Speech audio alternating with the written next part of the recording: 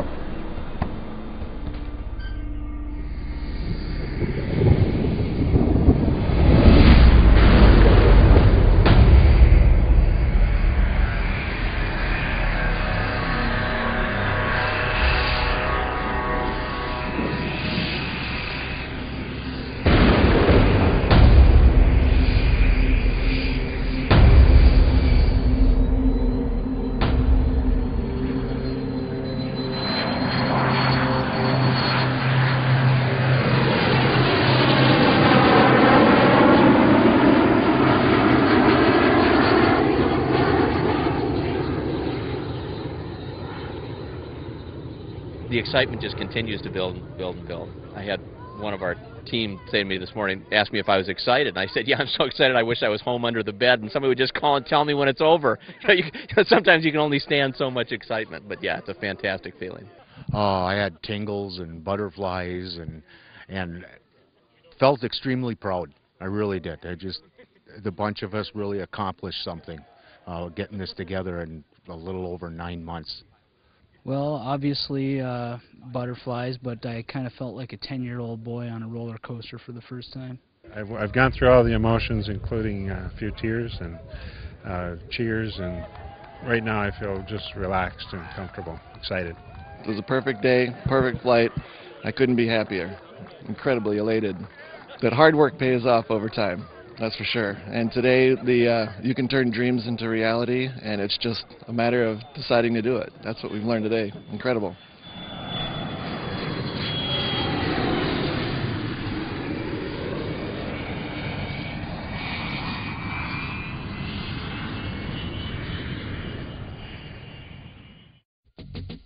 Today, there is an affordable, high performance, easy to own and easy to operate very light jet designed with you in mind.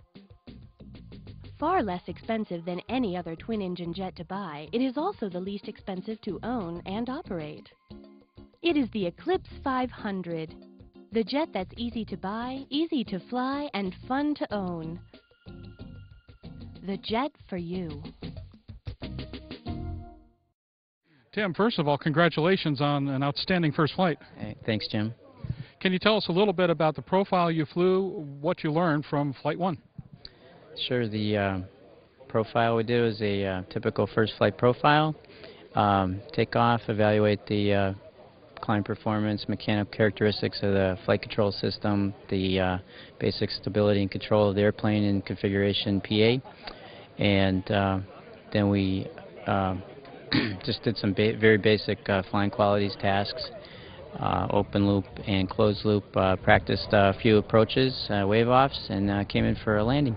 Our flight mission was about an hour, is what we planned, and as Tim Berg says, he says it very well. Um, we have two objectives, take off and land. Everything else is gravy in between. But we did quite a bit of gravy. We went up to 10,000 feet. Then he did some uh, steady heading kind of thing, maneuvers. He did a little bit of uh, stick bumps, did a little throttle maneuvers just to see what was going on there.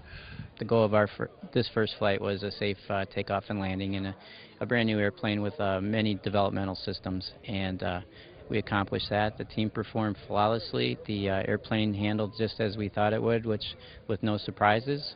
The whole event went uh, as planned, which is how test pilots like it to happen. When we set out to do the prototype, it was uh, strictly to be a, a, an aeronautical experiment to see if the V-tail and the single engine and the vectored thrust and all of those uh, unique features of, of, this airplane was going to pan out for us. But uh, instead, instead of just doing that, we were able to put a lot of systems on board. We have operational air conditioning. Uh, it's not pressurized, but ECS obviously is working, and uh, you know, it, it's just it has a lot more design thought going into this prototype. I've never seen one uh, in our history so complete on first flight. So, so a lot of hard work to go. There's no doubt about that, but I'm feeling pretty good about where we sit today. Cirrus aircraft have always been easy to fly. Now they're easier than ever to buy. A complete line of ownership programs gives you everything you need to purchase, trade, finance, lease, insure, and warranty your Cirrus. There's even an ownership program for non-pilots. The Cirrus Access Pilot can teach you how to fly or fly the plane for you. Find out more at www.cirrusdesign.com. Cirrus, for the love of flying. I was actually thinking about Winston Churchill's quote this morning of, you know, this is not the end and this is not the beginning of the end, but this is the end of the beginning. This is, this is just the end of the first part. And in front of that is detailed design, a lot of testing, a lot of work, certification, working with the FAA and other worldwide authorities to get the thing into production. As I often remind people, and not just about R&D programs, but this comes down to you know day-to-day scheduling on on current SR-22 production is it isn't done until the customer takes delivery, and then he'd better be happy. You know, so that's the definition of done. So we've got a long ways to go before we're done, meaning delivering this jet to customers. I mean, I got I had some butterflies, but at the same time, um, I don't know. I hate to say this, but I just think about the rest of the work. um, it's gratifying, but uh, yeah, exciting and relieving, I think. Big relief to see it fly away and come back safely. That's the most important thing is the safety aspect. Now, as I understand, you're going to try to bring the aircraft to Oshkosh. What's the schedule between now and then look like?